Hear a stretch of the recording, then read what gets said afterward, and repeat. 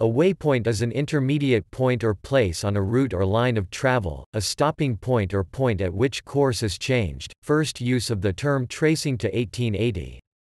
In modern terms, it most often refers to coordinates which specify one's position on the globe at the end of each leg of an air flight or sea passage, the generation and checking of which are generally done computationally, hence, the term connotes a reference point in physical space, most often associated with navigation, especially in the sea or air, e.g., in the case of sea navigation, a longitudinal and latitudinal coordinate or a GPS point in open water, a location near a known mapped shoal or other entity in a body of water, a point a fixed distance off of a geographical entity such as a lighthouse or harbor entrance, etc.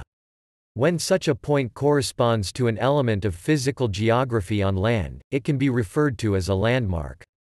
In air navigation, waypoints most often consist of a series of abstract GPS points that create artificial airways, highways in the sky, created specifically for purposes of air navigation that have no clear connection to features of the real world.